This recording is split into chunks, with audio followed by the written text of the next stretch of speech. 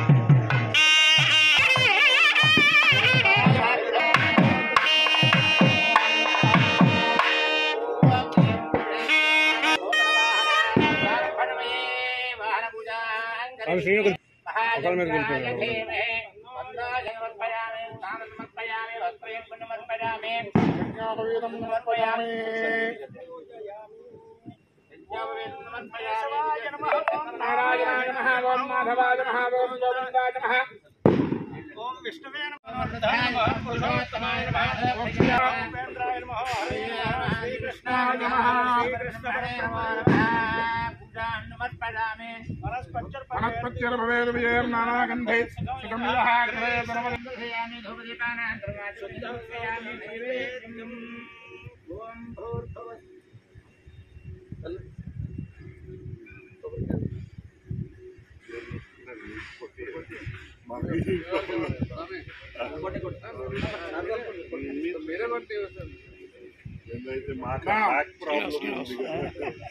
అయింది దేవస్థానంలో ఒక బస్ కొత్త బస్ కొని. అయితే ఈ కొత్త బస్సు మనము కొత్త పాలసీ ప్రకారంగానే దేశంలో రాష్ట్రంలో అనౌన్స్ పాలసీ ప్రకారంగానే కాలుష్యాన్ని పెంచకుండా భక్తుల సౌకర్యాలు పెరుగుతూ ధరలు పెరగకుండా ఉంచుకోవాలని ఆ ప్రయత్నంలో ఉన్నాం. ఆ ప్రయత్నం ఫలించుతుందని మేము అనుకుంటా ఉన్నాం.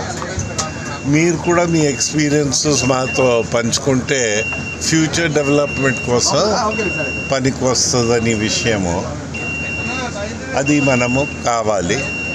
ఇప్పుడు మనకి దేవస్థానంలో మొత్తం ఐదు బస్సులు ఉన్నాయి ఇప్పుడు రెండు దీనికి ప- పరిమితం చేసి ఓ మూడు నాలుగు నెలలు అనలైజ్ చేస్తాను అనలైజ్ చేసి అప్పుడు ఏదైనా మనకి వీలుందా భక్తులు ఉన్నాయా భక్తులకి రేట్లు పెరగకుండా ఉంచుకోవడానికి ఇది ప్రయత్నం.